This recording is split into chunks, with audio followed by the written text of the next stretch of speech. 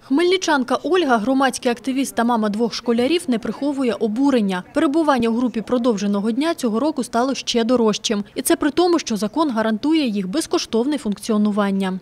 Згідно е, постанови Кабінету міністрів від 5 жовтня 2009 року номер 1121, група продовженого дня загальноосвітньо навчального закладу державної та комунальної форми власності функціонує за рахунок коштів відповідних бюджетів. Крапка. Закон законом, переконують посадовці, та от міський бюджет не гумовий, і потягти такі витрати просто не в змозі.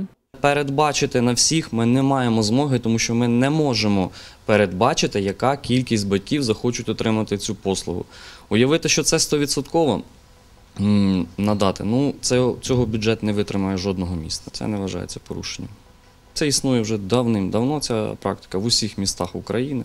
Головний освітянин Хмельницького каже, для школярів-пільговиків групи продовженого дня таки будуть безкоштовними. Щоправда, про їхню ефективність Ольга знає не чуток.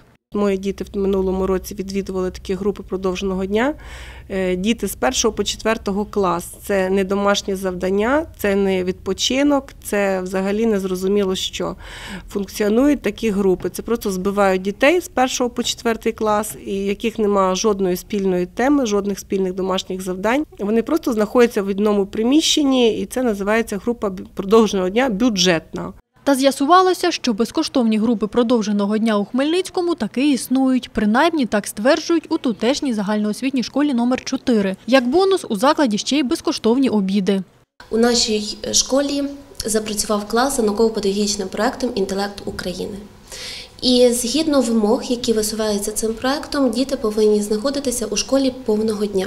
І до нашого штатного розпису була внесена ще одна штатна одиниця вихователя групи продовженого дня. Поряд із групою е, продовженого дня, яка працює за в класі Інтелект Україна, також працює ще одна бюджетна група в школі.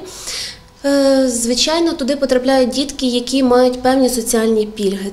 Поки матеріал готувався до ефіру, нам стало відомо, що батьки Хмельницького НВК номер 9 таки добилися права на безкоштовне відвідування групи продовженого дня. А от представники батьківської ініціативи міста Хмельницького подали заяву до поліції. Тетяна Присикар, Юрій Чорний, Сергій Захаров для інформаційного випуску.